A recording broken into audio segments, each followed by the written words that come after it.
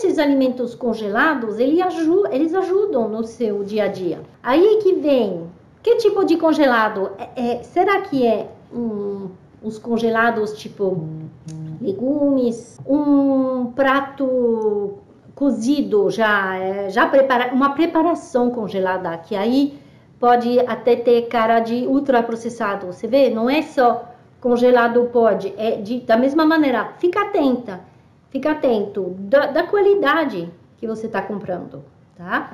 É, mas com certeza é, você pode ficar tranquilo com congelados e até você mesmo quando cozinha fazer porções a mais e congelar. E aí você já tem, por exemplo, quando a gente faz sopa, a gente faz um pouquinho mais e, a, e depois a gente congela quando tenha mais.